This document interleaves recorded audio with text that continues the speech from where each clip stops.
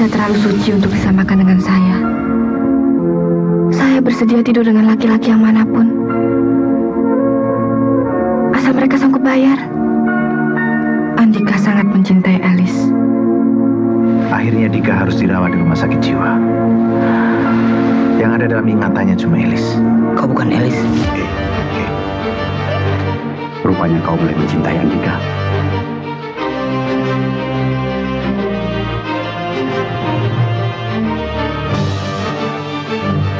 Neng Nia sama Randy istirahat saja dulu. Biar Mbok yang bikin minuman. Ya.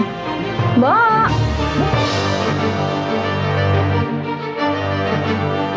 Semuanya sudah jelas.